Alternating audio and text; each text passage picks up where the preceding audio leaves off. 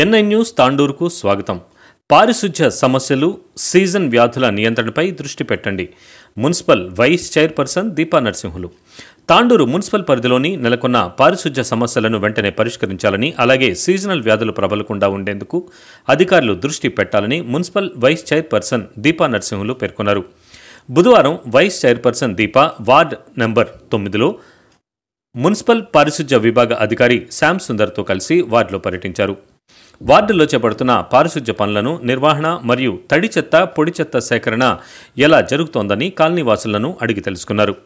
ఈ సందర్భంగా ఆమె మాట్లాడుతూ పేరుకుపోయిన పారిశుధ్య సమస్యలను వెంటనే పరిష్కరించాలని అలాగే ప్రజలు సీజనల్ వ్యాధుల బారిన పడకుండా చర్యలు చేపట్టాలని అధికారులకు సూచించారు. ఈ కార్యక్రమంలో వార్డు ప్రజలు మున్సిపల్ సిబ్బంది తదితరులు ఉన్నారు.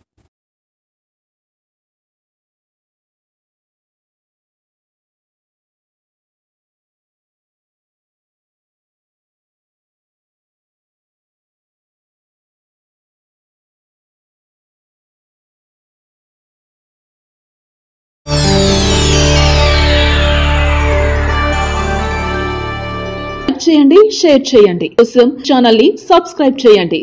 అలాగే ఇక్కడ ఉండే ఈ గంట సింబల్ని క్లిక్ చేయండి. మేము అప్డేట్ చేసే ప్రతి వీడియో నోటిఫికేషన్స్ మీకు వచ్చేస్తాయి.